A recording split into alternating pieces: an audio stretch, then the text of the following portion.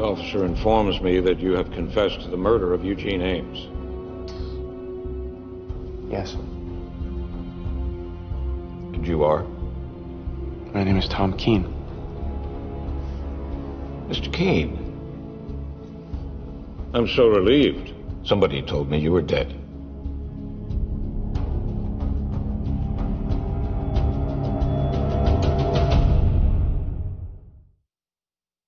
Your ex-wife said you were dead. She said she shot you in self-defense when you abducted her for Berlin. She saved me. She held you captive on the boat, the Phoenix, to squeeze you for intelligence about your employer. Yeah, look, none of that matters. All right, the only thing that matters is that I killed that man. Guy walked on the wrong ship at the wrong time. So you snapped his neck just like that. Took a few seconds. Why are you telling me all this?